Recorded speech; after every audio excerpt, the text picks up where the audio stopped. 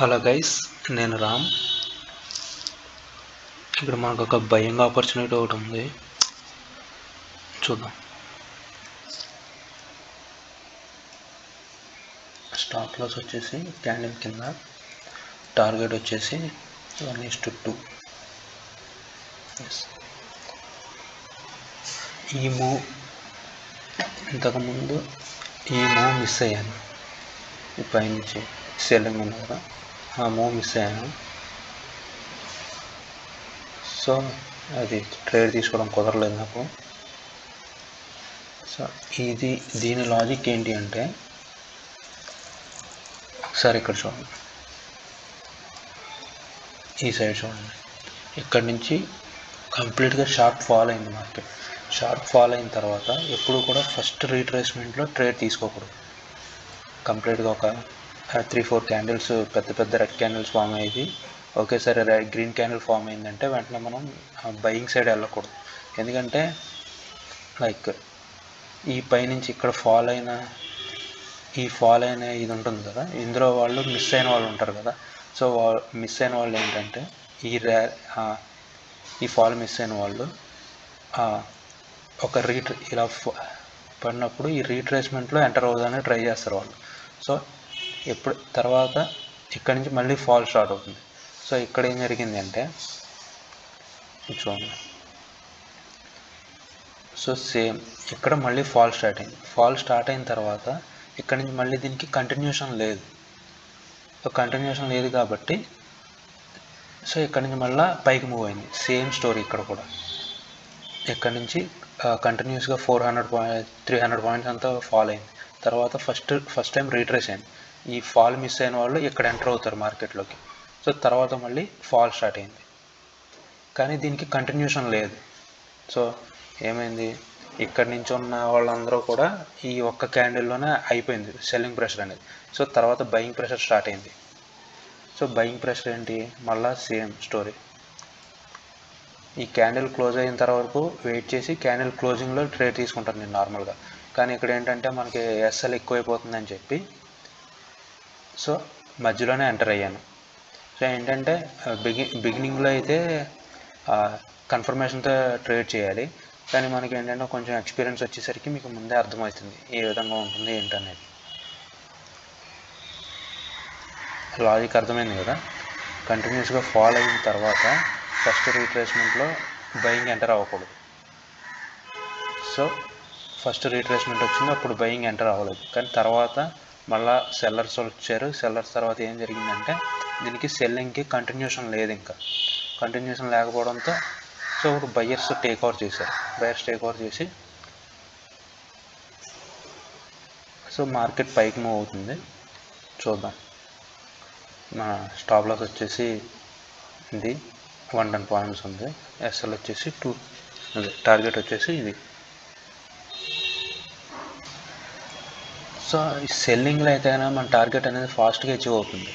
ఇలా కంటిన్యూస్గా పట్టడం స్టార్ట్ అయిందంటే కంటిన్యూస్గా పడిపోతుంది ఒక ఫోర్ ఫైవ్ క్యాండిల్స్.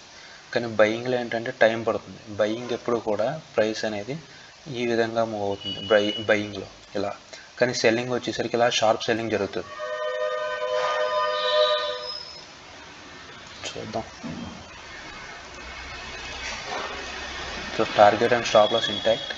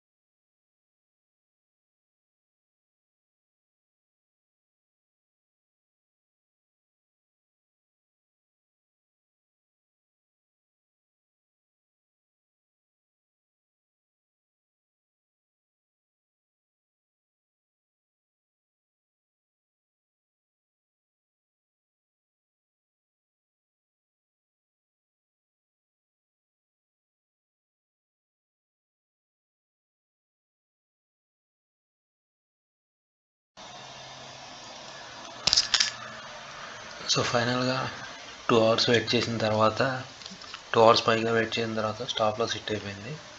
సో ఇప్పుడు వచ్చేసి మనకి